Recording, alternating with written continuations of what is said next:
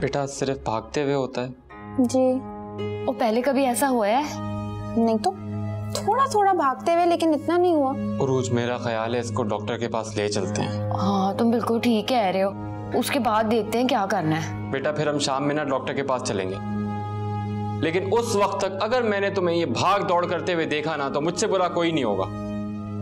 एक बार डॉक्टर के पास चले जाएँ फिर जैसे डॉक्टर बोलेगा वैसे कर लेंगे। ठीक है। अभी तो पूरा सांस आ रहा है ना। सब ठीक है। तू भी नहीं है जो कबड्डियाँ करती रहती है ना हर वक्त। परेशान करती है तूने मुझे।